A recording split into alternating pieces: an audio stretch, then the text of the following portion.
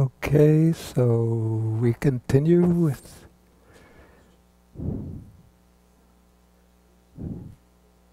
Okay, Sam and George. Okay. Okay, let's. Then Sam had it. Let him go first.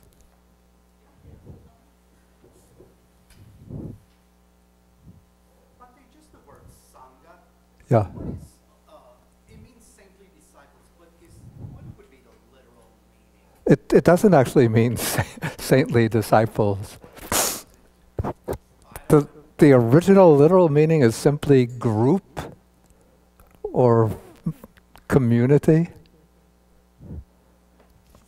And in Pali, there's the expressions, let's see, we even have Miga Sangha. That means a group of deer. Let's see. There was another use of Sangha. Yeah, anyway, it, the original meaning is group, but then in within the you know specifically Buddha's context, it refers either to what's called the Arya Sangha. That would be the group or community of noble disciples. And it, in that case, it refers specifically to those who are on the four paths or who have realized the four fruits.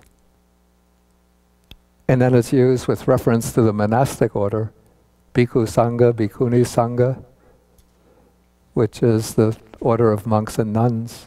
I mean, now I know groups of lay people use it when they get together and practice together. They use it with reference to themselves. I mean, I don't have objection to that, but it's, it's not canonical usage.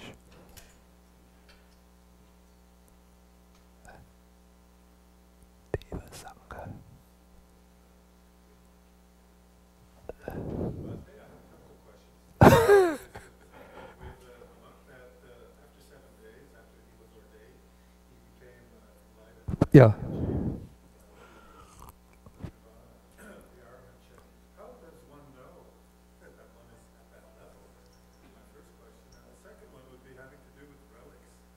Yeah.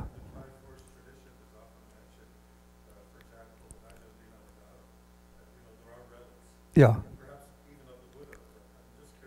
yeah. Okay, the second question is easier to answer than the first. As to how one knows, there is supposed to be what they call a reviewing knowledge or retrospective knowledge, whereby one can sort of reflect back on one's mind and then one sees what one has realized, what one has, what defilements one has eliminated, what defilements still remain. So in the case of the arhat, there will be no defilements remaining. The problem is that a person on their own can be mis can overestimate themselves about their achievement. So sometimes people who are meditating very uh, earnestly, very vigorously, will have some kind of like powerful experiences, and then they think, ah, that means that I'm enlightened, and so they might even come to the conclusion, and even maybe report to others that I've reached, you know, the final either some stage of enlightenment or even the final goal. But one could be, you know, deluded about that. So that's why, I mean, when the Buddha was alive, monks would report to the Buddha, and then the Buddha would be able to look into their mind and determine whether they were reporting accurately or were overestimating themselves. Nowadays, it's very hard to avoid, you know, to find a person like that who can directly confirm one's attainment. So maybe at least good advice would be for somebody. Well, my opinion is first not to be worried about, concerned about rating oneself what one has attained, but just to continually look at one's mind and see whether there's still greed, hatred, and delusion in the mind, and be you know to be honest with oneself and to evaluate oneself accurately, and to be humble. That you know, not to be out to set oneself up on a pedestal so that everybody, other people will admire one and revere one for one's self-assigned attainment. And then as long as one still recognizes that there's greed, hatred, and delusion, then one knows that there's still work to be done. Okay, that's the first question. Second question, relics. Okay, it's said that when saintly people are cremated, what the disciples do after the cremation is they take the remains and they pound them, and then if somebody has truly reached the saintly attainment, the high attainment, they find little particles that remain. Sometimes they look like jewels, like pearls. Sometimes they're different shapes, different colors. But it's regarded as a kind of testimony to the spiritual attainment of that person. And so then they are taken and enshrined in relic chambers and sometimes they will construct what they call a stupa. You know, that's a memorial a memorial shrine for them, or else they'll enshrine them on altars. And I've seen some really spectacular relics. There was a group that was doing a relic tour around the United States. And there's supposed to be like a one mirac- miraculous quality about the relics. This applies particularly to what is supposed to be Buddha relics, and that when they are really deeply venerated and treated with respect, they multiply. yeah. So I've heard, I've, I haven't seen this myself, that somebody will have, say, one relic in a little reliquary, which they'll venerate and make offerings to it. Then maybe after some years, they'll open it up and there are two or three relics there, two or three pieces. And I saw on this relic tour that was uh, the relic tour that took place around the United States. I think this could have been 2004, 2005. I think it was under the auspices of Lama Zopa, Tibetan Rinpoche. But they had relics, which they said were relics from Venerable Ananda, Sariputta, Milarepa, and from other eminent yogis and lamas and monks of the past. And they said that there was this, there was, I had seen a photograph of one of the main relic chambers, and there was just like a whole bunch of little relics, very small, looking like pebbles. But then on the tour, that same relic cha- chamber had a big white relic about this size on top of all of the small relics. And the people who were in charge of the tour said that that relic was not there originally. It just appeared. One day they came to look, and there it was. I think it was the relics that were supposedly belonged to Venerable Ananda.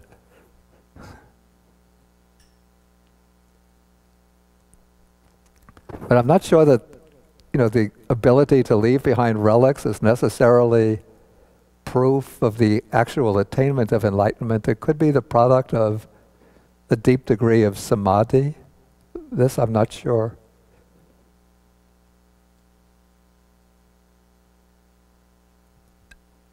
Yeah. Yeah.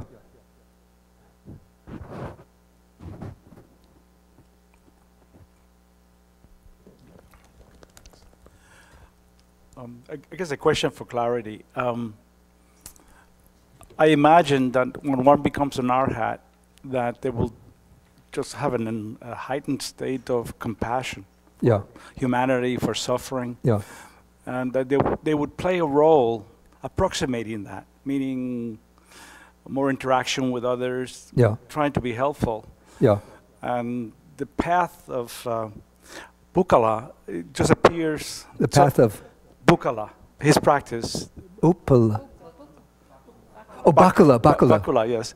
Um, you know, more, I guess he's a great teaching on renunciation, Yeah, yeah. but I don't see the connection so much to the compassion. Well, that I think that was the point that I was trying to bring out, and also that uh, Bhikkhu Analayo brought out, that there seemed to be a sort of drift in, at least in, from one, maybe within one community within the Sangha, towards a kind of ideal, idealization of those who have the austere ascetic qualities at the expense of the qualities of compassion. In fact, my own sort of personal theory is that, particularly if we read some parts of the Samyutta Nikaya, one sees that there's in uh, the Vinaya a bit of a tense relationship between Venerable Ananda and Mahakassapa. And Mahakassapa is the one who represents that austere, ascetic temperament, self denying, aloof, secluded, withdrawn, uh, one who undertakes the ascetic practices of, like his practices were never to accept offerings to meals, to use only the three basic robes, not to have extra robes, to use the robes collected from the charnel ground. And he lived in seclusion most of the time on the Vulture's Peak mountain. Or actually, not Vulture's Peak, it's Chicken's Foot Kukurapada, Kukkutapada. Chicken's Foot Mountain.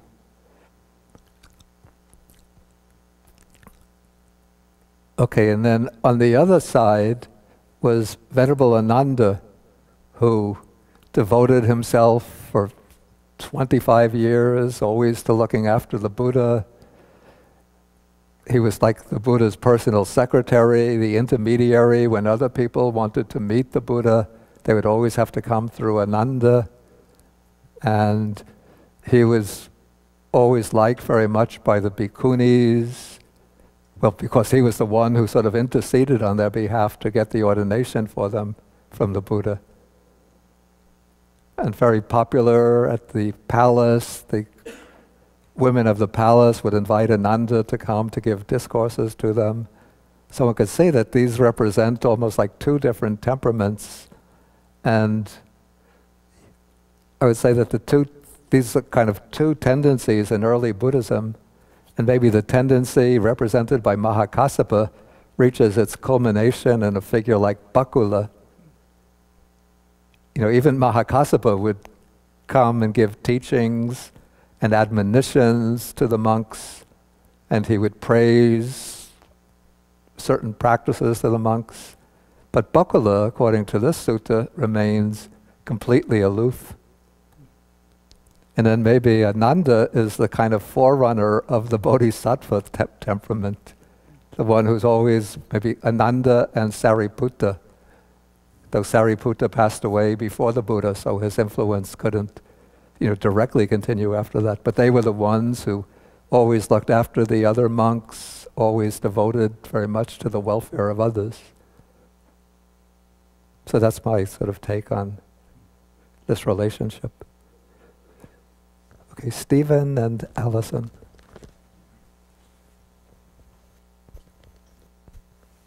Uh, Bhante, I, I have two questions. Uh, the first one is I wonder if I'm off the mark to think that perhaps this sutta is a, a somewhat of a public relations campaign Hmm. for the Arahant path against what might have been growing as popularity as the Bodhisattva path. hmm Because those inserted refrains seem to be applauding, as you said, Yeah, these austerities. yeah. And it seems like without those refrains, one might read this sutta in the opposite way. Mm. And Mm. so they, they, I can imagine maybe these compilers saying, "Yes, that's right. See how austere he is. See how sort of wrapped up in himself he is. That's the way to go." So, uh, and it ties into my second question, which maybe is a bigger one. Yeah, that's not so much a question, but an observation. Well, I just wanted to see if, if you might agree or disagree. Yeah. Anyway, go on to the yeah, second. second question is about the accuracy of these suttas because Owe just pointed out to me that in the Agama, Bakkula has a robe.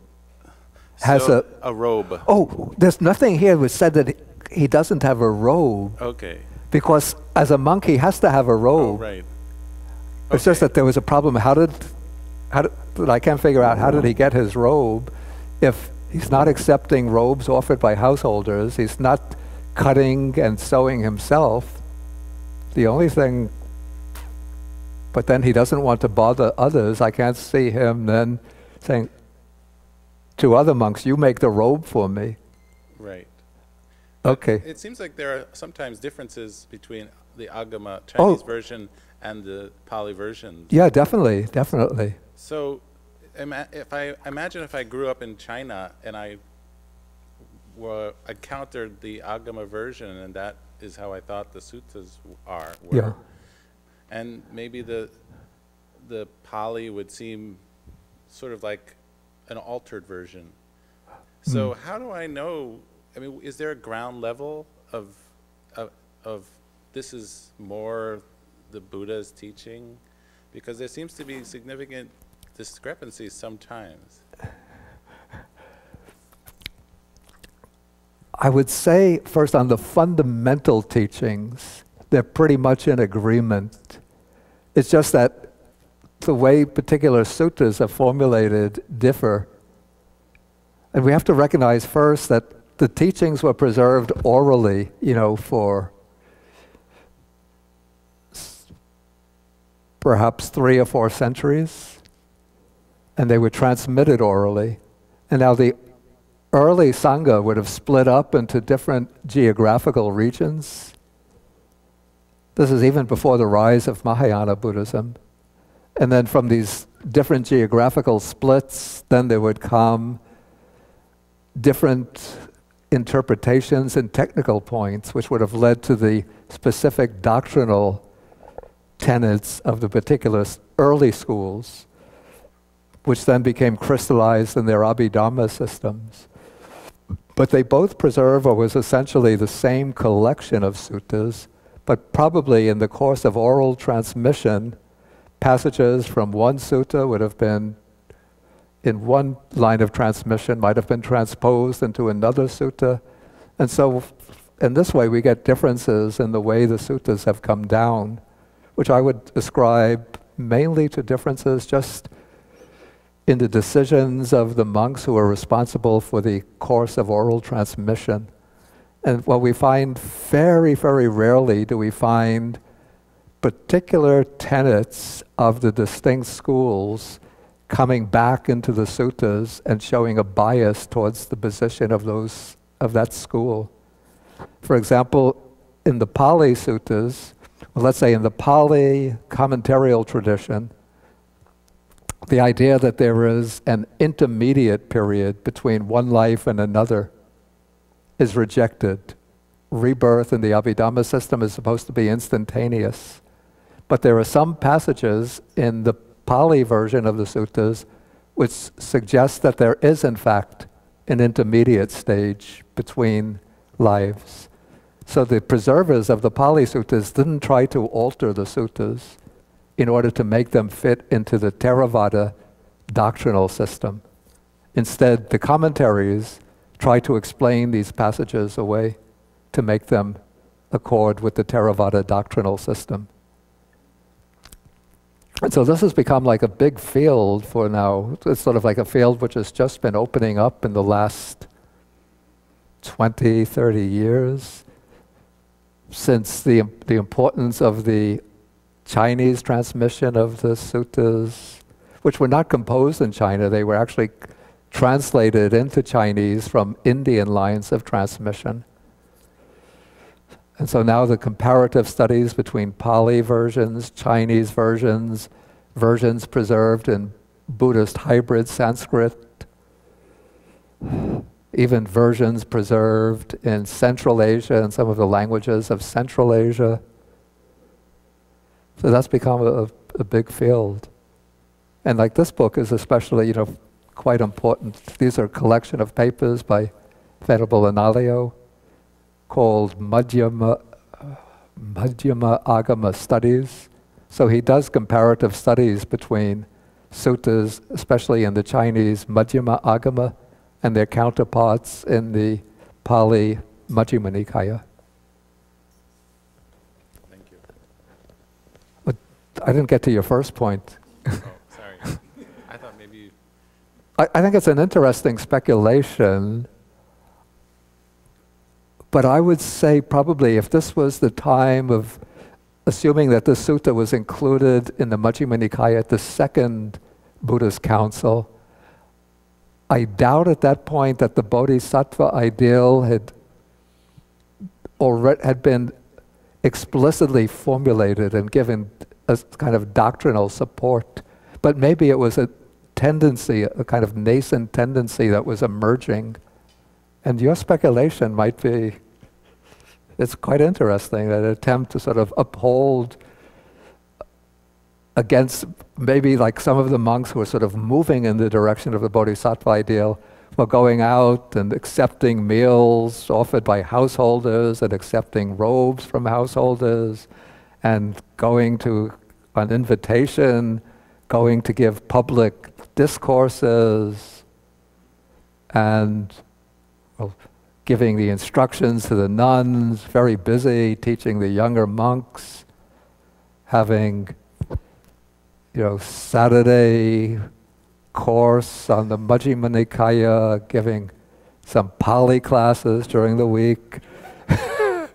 and then some of the other monks, in fact, I, I knew monks like that in Sri Lanka, would say, How's your own practice coming? well, Bhante, you know, I've been very busy these days. busy with what? Well, um, you look for your own good. Dwell alone like the rhinoceros. Uh, yes, Bhante. and so then they could have, you know, those monks who were supporting the ascetic ideal maybe were the ones responsible for pushing to get this sutta into the Majjhima Nikaya. But it's closed, it's closed. No, we want this in. I have to wonder whether even if Bakkula's austerity practices have been almost exaggerated for dramatic effect. Also, a good, a good hypothesis. Hey, you should become a Buddhist scholar. You could l- leave your music alone.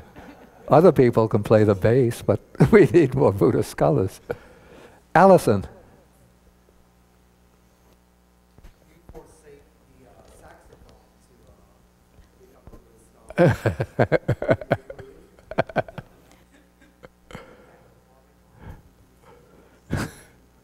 Allison, please. Actually, my question is similar to Steve. I have a question.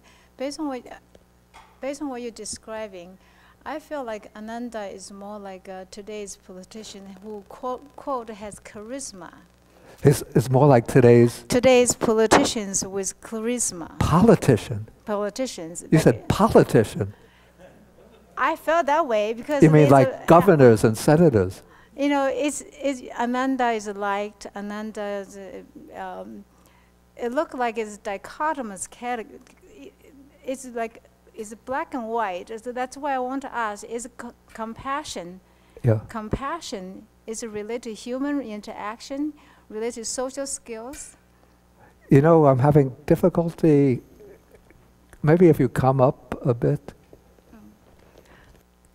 because your voice is light and Okay. it's that device is not picking My up. My question is, Yeah. based on what you described, I felt uh, Ananda is being liked, like today's uh, popular boy, popular monk. And it's almost like uh, the definition of today is like politi- politicians or somebody who has charisma. Charisma is a lot of describing is being liked, uh, being has, Yeah. has a power, has attractions, Yeah. all stuff.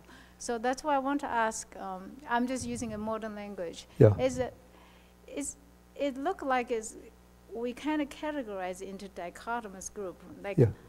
enlightenment and bodhisattva path. You Yeah. got uh, in a in in a very d- Yeah. opposite direct Yeah. opposite path, and I I want to know that is. Is anybody study that compassion it has correlation with social skills or popularity. That whether his action. compassion has Yeah. correlation with social skills and popularity?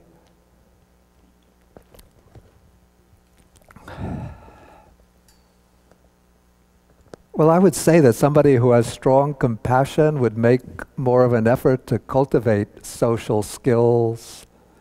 And through having social skills, that would lead to popularity. Um,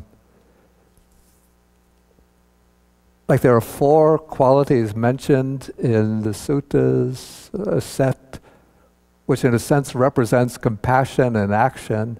These are called the four sangaha vatthu, which are sangaha. It's not, not sangha, but sangaha means binding together, collecting, bringing together. So these are four qualities which sort of attract or bring people together with oneself. I think in Chinese it's shifa, Se shifa, She. Fourth tone, right? Shifa, She. With an E. Shifa. What am I what tone am I saying? yeah, se, she, fa. Okay, it's the four Sangha Vatthu. So this is giving, dana, pleasant speech, uh, endearing speech, um, beneficial conduct that's acting that benefits others. And then the fourth one, a little ambiguous, but it could be taken to mean equality, treating others like one treats would treat oneself. Okay, and so I wouldn't compare Venerable Ananda. To, when I hear politician, I think of somebody who is going out of his way to try to be popular in order to get elected so he can have position and power. Whereas Ananda was not like that at all. But it seems that he was very popular. He had a very loving, lovable personality. And so he would naturally attract people. And so it's said in the text, and Nik- actually it's also said in the Parinibbana Sutta that whenever the bhikkhus, bhikkhunis, laymen, and lay women come to meet Ananda, they always feel joyful and happy. And whenever they have to leave him, then they always feel a little bit disappointed that they have to go and leave him. okay, one, two, and then we have to stop. Johnny and Pan- Edmund. Bhante, that's, the question actually is from the internet. Yeah. Uh, so, uh, I think it's, she, she asked, but isn't that very same issue that prevent Venerable Ananda from attaining arahantship while both Venerable Kas- Kassapa attain highest food? Okay, The, the, the, that issue means what you said before, being, being loving kindness, yeah, not, not being politician, because the question asked before that. yeah, yeah, yeah. Yeah, that might be the case.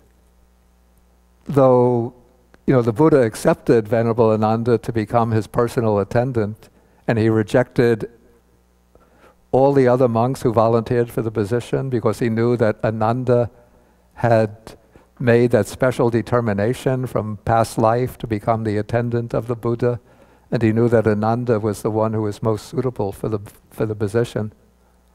Uh, But Ananda did achieve arhatship after the Buddha passed away. Can can I have a comment of myself? Yeah. If I were Ananda, I'll keep my sensual desire so that I know what is more comfortable for the Buddha. That's my, just, just my two cents. What uh, uh, Rep- um, Venerable Abakula does not say that there's anything wrong with it. He's saying that he does what he does as somebody else may get enlightenment, you know, doing something else. It Yeah. doesn't say there's anything wrong with it. Yeah, no, no, He no. It does not. So therefore, he's practicing on it. But then at the same time, I think this uh, this sutta is based on. Remember, he's explaining his friend how to go about it. and he's actually gonna, he's going to become a monk also. So he's letting them know, listen, if you mingle with women, then it's going to be much harder to develop, you know, non-sensual desire. It's going to Yeah. come up.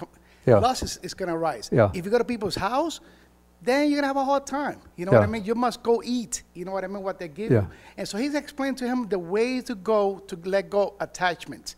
Yeah. I think that's what the sutta means, if I'm right or wrong. I mean, I don't know. Okay, I think that's a good way to read it, to see it as a kind of lesson and Yeah. Well, actually, it is a lesson in non-attachment, but you know what gives a particular slant to this sutta.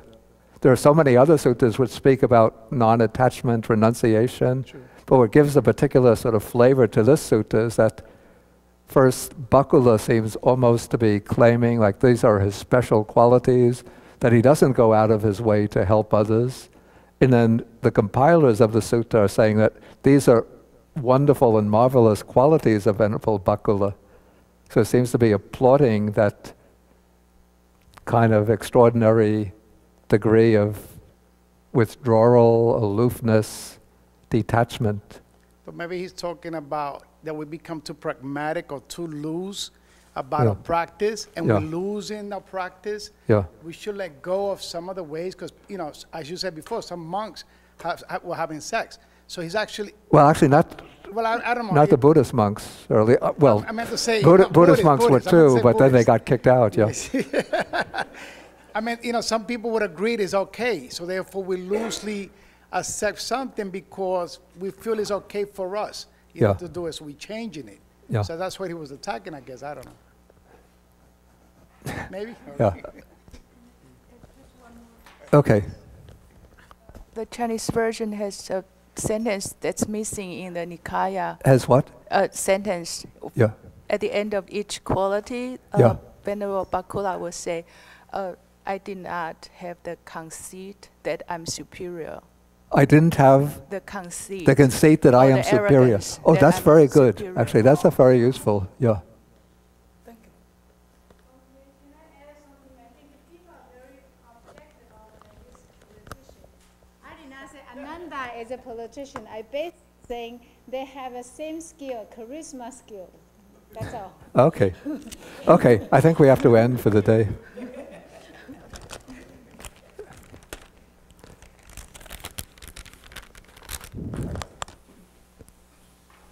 You know, Bhante, you said you felt really bad because this is the last class. Well, you don't have to stop. No, I got- We don't want you to feel bad.